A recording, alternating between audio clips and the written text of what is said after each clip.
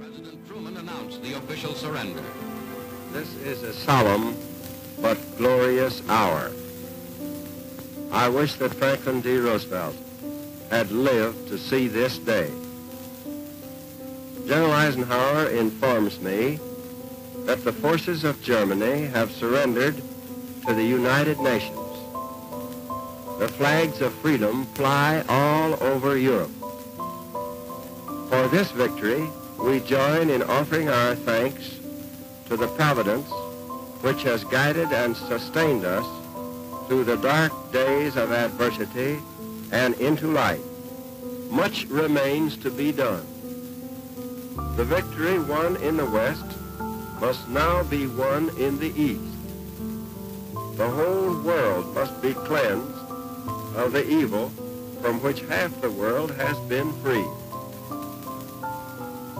United, the peace-loving nations have demonstrated in the West that their arms are stronger by far than the might of dictators or the tyranny of military cliques that once called us soft and weak.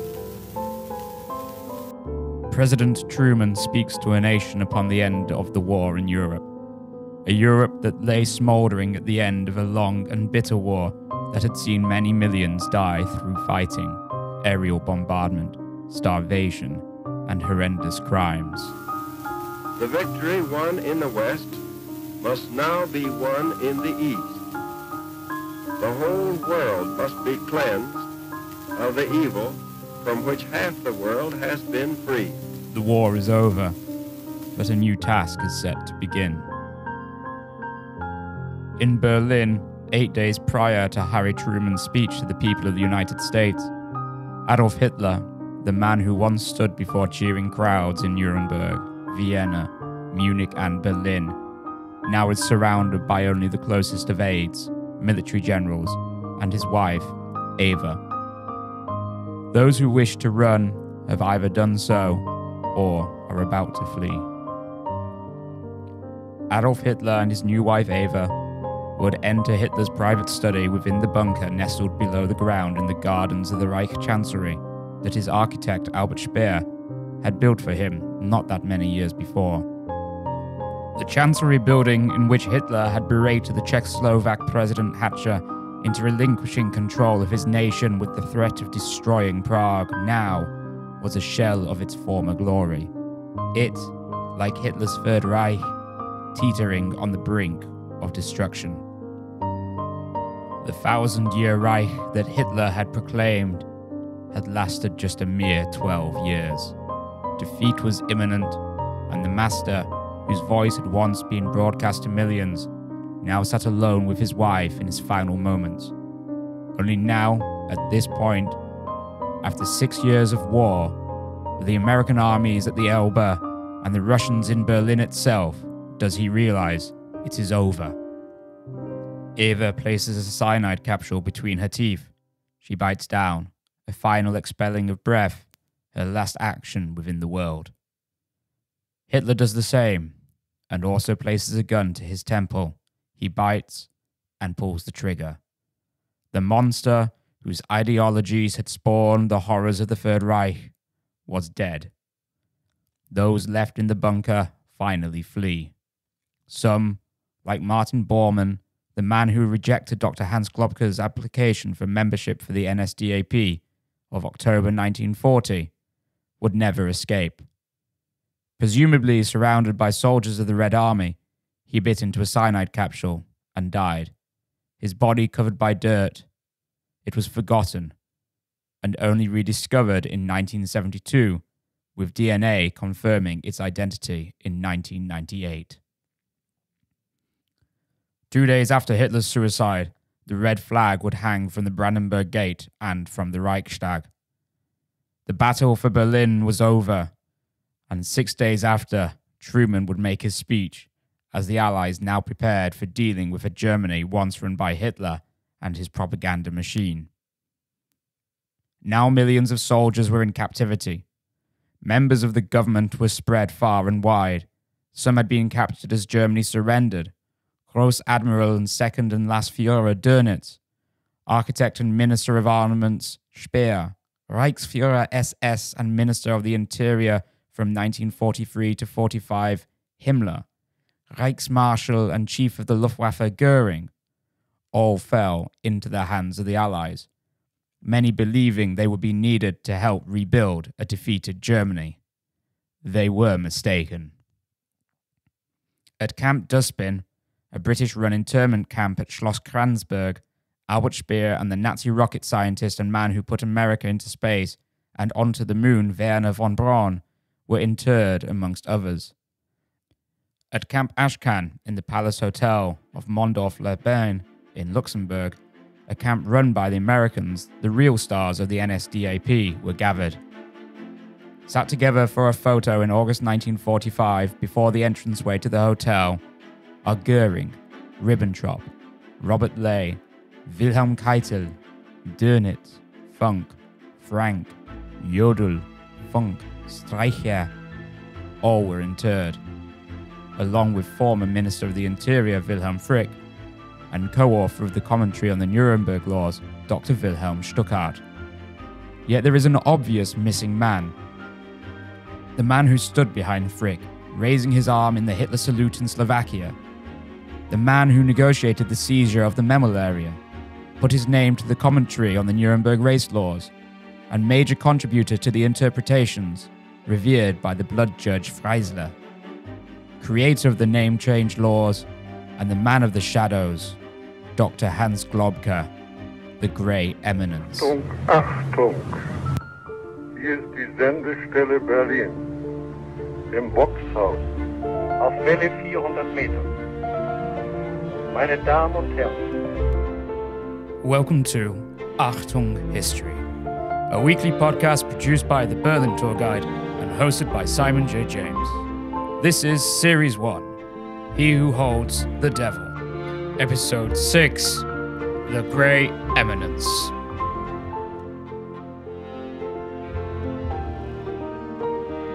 Searching for films and videos of the liberation of peoples who were subjected to the rules and tyranny of the National Socialist regime, one would normally look to the liberation of the camps of Buchenwald, Theresienstadt, Dachau, and Auschwitz. But as the results filled the screen, I realized that the search of the United States Holocaust Memorial Museum archives reveals much more. For the films of the camps, the silent footage shows the destitute and skeletal people deprived of their humanity, subjected to treatment as not just second class citizens, but as an inferior race. At Theresienstadt, black and white footage shows the exhumation of bodies. A man stands as others work, pulling the corpses from the pit to which they were cast, a crime the Nazis undoubtedly hoped would remain hidden. Now this man works in the dirt, a swastika drawn on the back of his blazer. The man next to him has the symbols of the SS. It was from Theresienstadt where Bernhard Köln was liberated. Bernhard Israel Köln. Upon his liberation, he was finally allowed to see his wife. Bernhard and Emily, who was pursued to divorce her Jewish husband, who had asked to change their last name for her sake, a request that was denied by Dr. Globke. But the other results of liberation that fill the screen are not of the camps, but of the cities, where the boots of the armies of the National Socialist regime once marched in step with one another. Prague, Paris, Warsaw, Brussels, and more all bear the word liberation. Liberation for the living from tyranny, from the laws of the Reich Ministry of the Interior. For Warsaw, a city decimated by the initial German attacks, then again by the German armies as revenge for the Warsaw Uprising, one could be forgiven that, as the film reels roll, the city comes to life. Trams are overcrowded, intersections of cars passing through, temporary bridges full of pedestrians. That life is returning. However, it would never for six million Poles who died through the mass murders and the Germanization in the pursuit of Hitler's Lebensraum Now, in immediate post war Europe, as people try to come to terms with life in a Europe that is a shadow of its former self, where people search for relatives and friends through pictures and lists, plead for information knowing not if those they search for are alive or dead. One of the major instigators of these crimes sits before OSS officer William Donovan, a man who later would be a founding father of the American Central Intelligence Agency.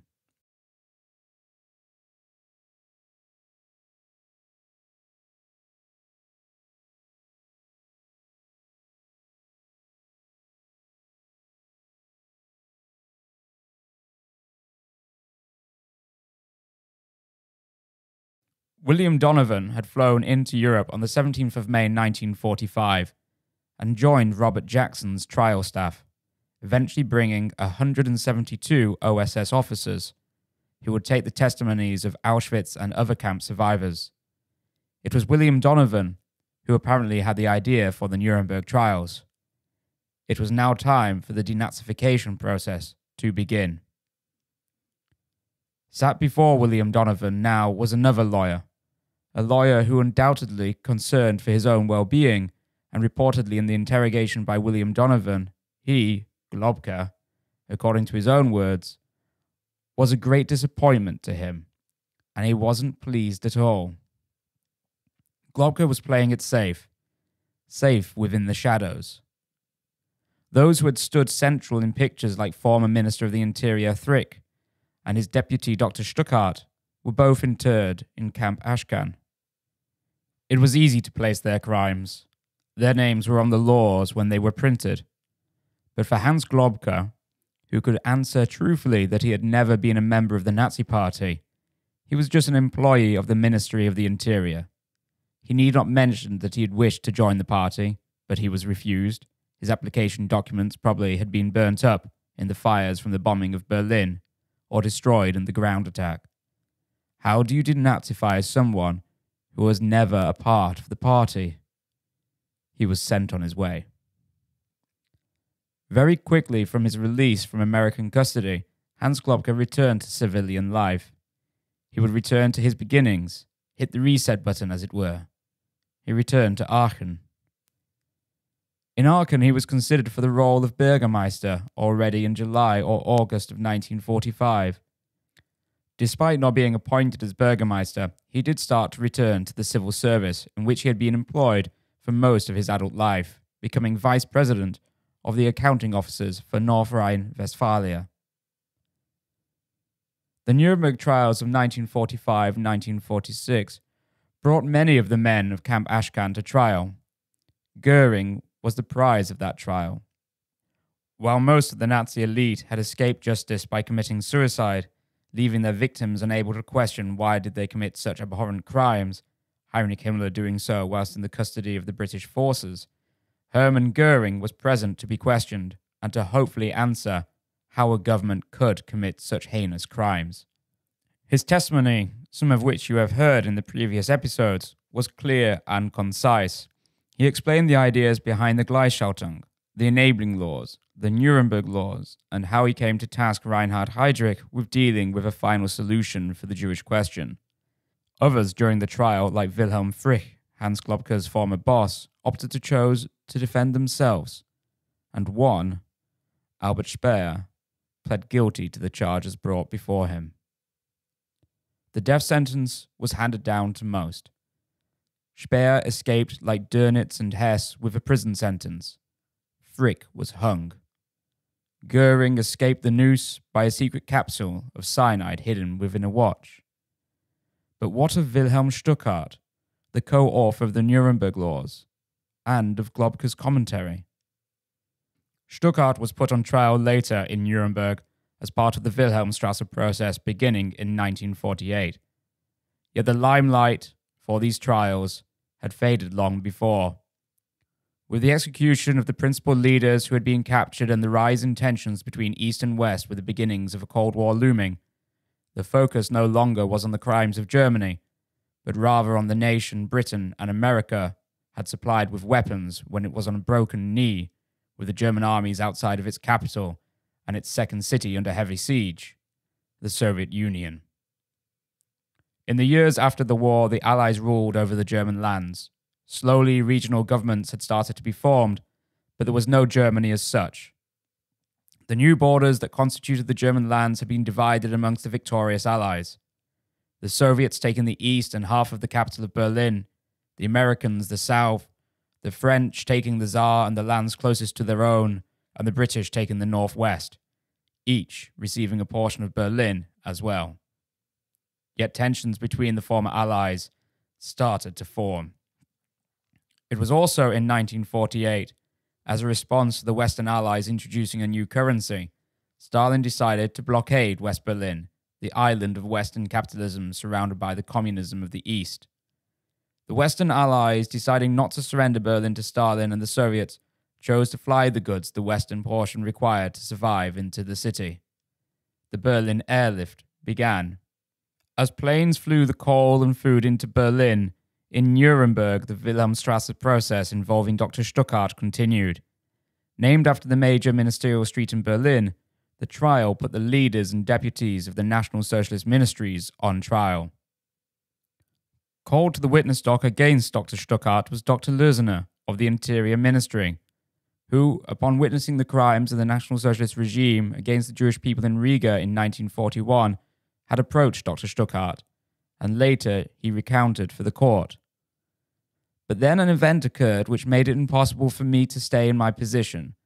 So on December 21st, 1941, I called Stuckart and urged him to do the following.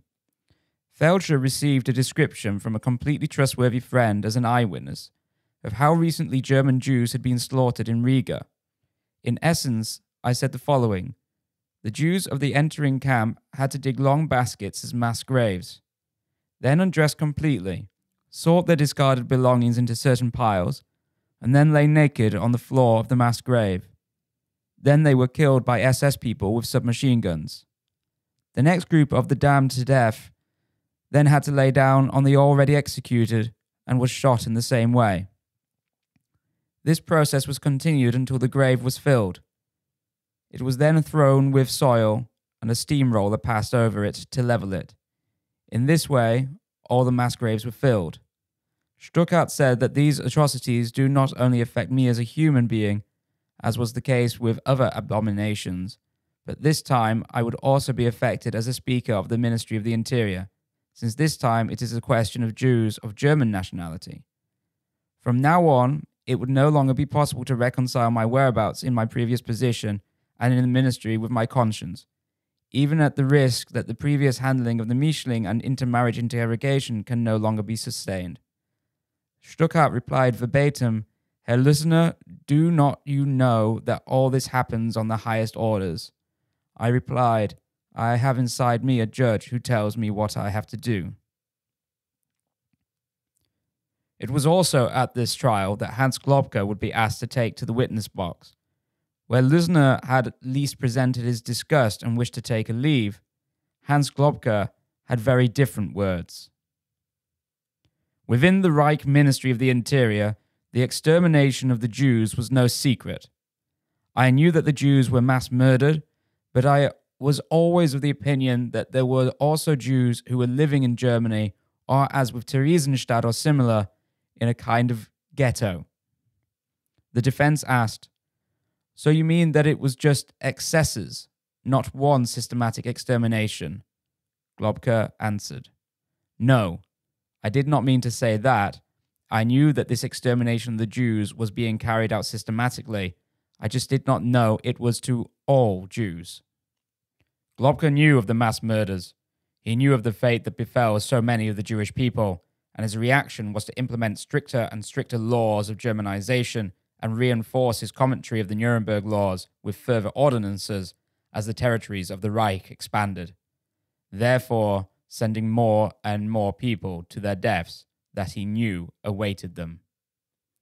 Yet the case and his statements didn't gain international media attention as the war weary eyes of the world were no longer focused on the courtroom in Nuremberg, but rather on the skies over Berlin.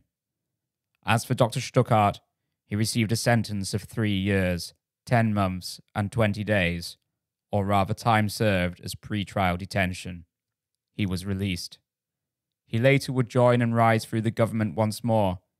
He joined the Socialist Reichspartei, which saw itself as the spiritual successor to the NSDAP in 1952, but he died in a car accident in 1953. Such was the rift that was growing between the former Allies, the West, as the planes flew over the East to fuel West Berlin, chose to form a new country. To unite the British, French, and American sectors of Germany into a new country under the flag of the old Weimar Republic and named the Federal Republic of Germany, this new Germany was founded on the 23rd of May, 1949. The main man in negotiations with the Allies to found the Federal Republic of Germany was the former Lord Mayor of Cologne, Konrad Adenauer. Adenauer had sat as the chairman of the Prussian Council, but refused to take his seat when Hitler's Enabling Act was passed through the chamber as part of the Gleichschaltung. He had now been negotiating to consolidate his own power in the new Federal Republic. He was little known outside of the British sector, his main rivals for power, Kurt Schumacher of the SPD and Ludwig Erhard. Adenauer, as a member of the CDU, fearful of the SPD challenge to leadership, negotiated that on the founding of the Federal Republic, West Berlin would not be a federal state. The reason for this was that the left leaning Berlin could have been a social democratic overweight in West Germany. In the first federal elections of August 1949, Konrad Adenauer became a representative of Bonn. He then formed a coalition with the FDP, the Freie Demokratische Partei, an extreme right wing, Deutsches Partei. So, with the smallest of majorities in the new Bundestag, Konrad Adenauer, on the 12th of September 1949, became the first Chancellor of the new Federal Republic. Yet, with the coalition that he had formed, he would need help in controlling and maintaining power. Hans Globke was to return. Dr. Hans Globke, despite his past, was to come close to power once more. However, he wasn't doing so unnoticed. For the man in the shadows, hiding away from the light, it was the shadows that were watching him. Despite William Donovan's failure to extrapolate anything of worth from Globke in 1945, the new Central Intelligence Agency had been keeping watch. As Adenauer started to form his government in Bonn, the CIA started to watch from Frankfurt. On the 25th of October 1949, the High Allied Commission of Germany, or HICOG, was starting to worry. Despite the denazification process that ruled over what positions, if any, within post war German society Nazis could hold, a growing number of former Nazis were occupying higher positions the High Allied Commission was expressing concern that the man who helped formulate the Nuremberg laws was now slated to be the personal referent of Chancellor Adenauer. The CIA were also uneasy, so they turned to one of their informants, a lawyer by the name of Herbert Engelsing, to try and establish what role the formulator of the Nuremberg laws would be occupying within the new government. Yet Engelsing, as it would emerge much later, was not the most reliable of informants, but his report did state that Globke was adherent to the right wing Zentrum Party, but not a Nazi. He also stated that Globke participated in the 20th of July putsch to kill Hitler and oust the Nazi leadership, a claim with little grounding. As the 20th of July 1944 plot happened, Dr. Globke was immediately before and after still producing drafts for laws or decrees such as the request for naked photographs of the intended spouses from conquered territories for German men of 15th of June 1944, or the increase in regulatory conditions for German citizenship of the 13th of July 1944. For many of the 20th of July plot 1944, they had stood before the judge Roland Freisler, the blood judge, the one who had so greatly admired Hans Globke's commentary on the Nuremberg laws, stating that every public office should have a copy. For most, the sentence was treason, reached after a farcical show trial. Over 200 were executed.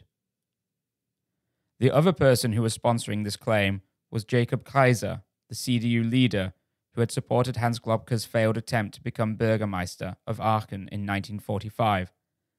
Whilst Jakob Kaiser was in the German resistance, he was not directly informed of the 20th July plot. No other reference to Globke's involvement with the plot can be found, those who could dispute it predominantly or were killed as a result of the plot. In the document circulated around Washington in 1961 by the German embassy, the transcript of the Die Zeit interview, Globke would say, At an early date, I also made contact with military and civil groups of the resistance movement, who later attempted the coup of July 20, 1944. I was on friendly terms with General Stieff, who was later executed. I had constant contacts with Herr Kaiser, who later became a federal minister, and with Count Schulenburg and the attorney Wirmer, both of whom were also later executed. So it was the only person mentioned that was alive to corroborate Dr. Globke's involvement was the man that was not directly informed of the coup. As we have seen previously, most of what Dr. Globke mentions in this transcript circulated around Washington is at best a lie. It stands to reason that Dr. Globke, being part of the movement to kill Hitler, was also a lie. Nevertheless, Globke became an assistant to Adenauer and the chief of internal affairs. In April 1950, the CIA had an interview with Dr. Globke. The Office of Intelligence Analysts sought to understand a little more about the man behind Adenauer lurking in the shadows.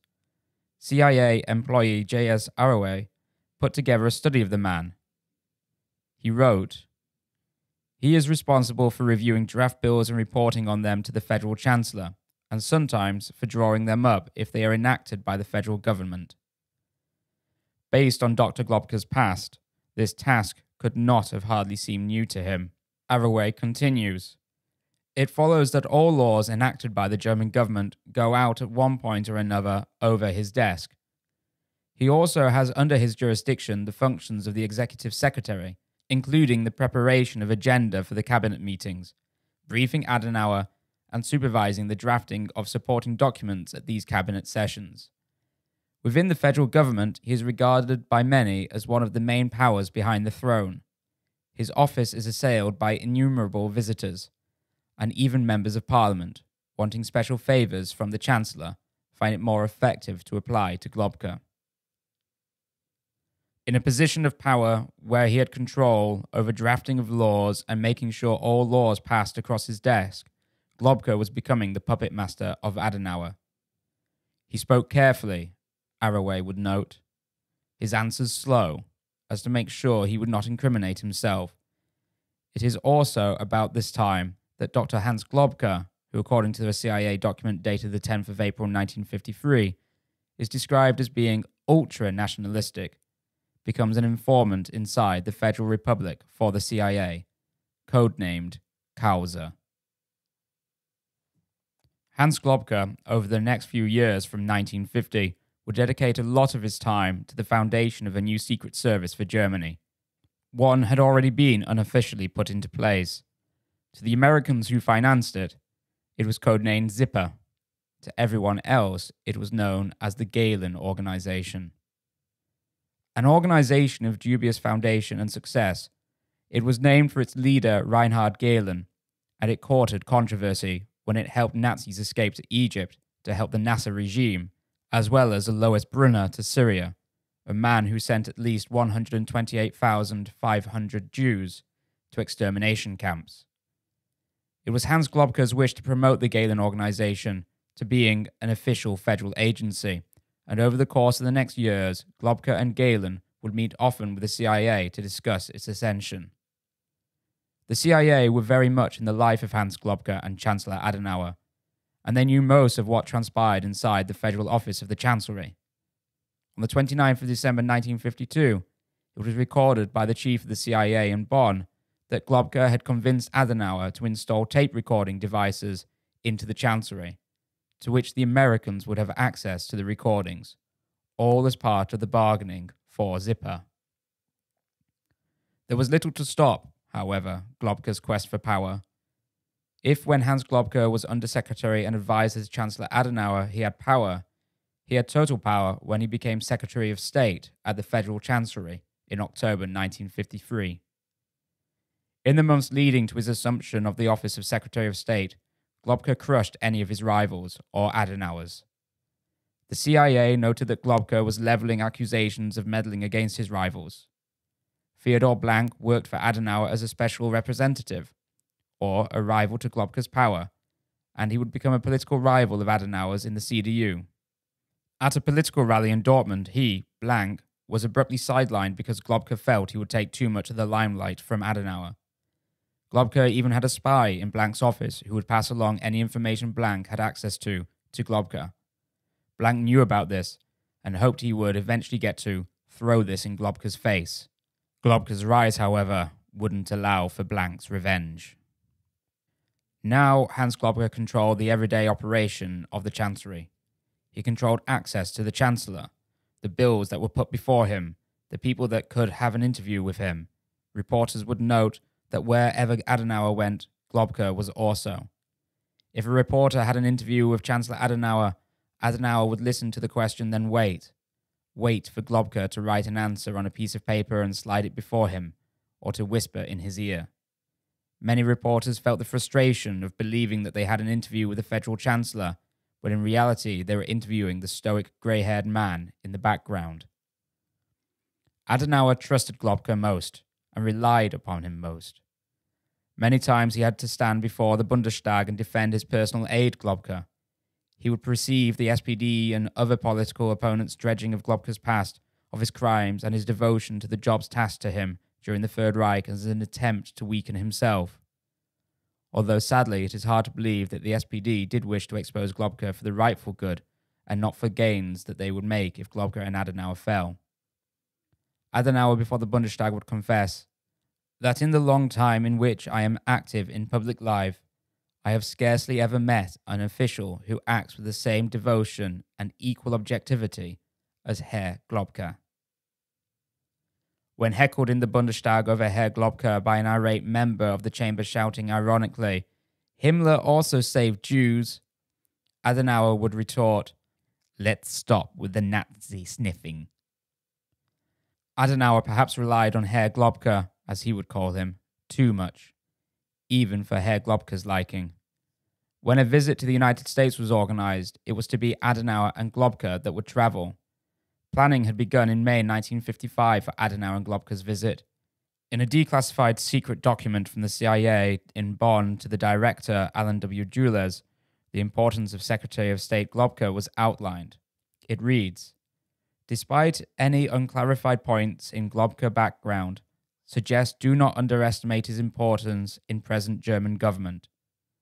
It continues Globke much more important than his rank indicates, references to him as the grey eminence in the German government, and controls access of even cabinet minister to Adenauer. He is more important than other visitors on whom time has been spent and should be handled only by top echelon including possible personal attention from director. Globke was not to be underestimated.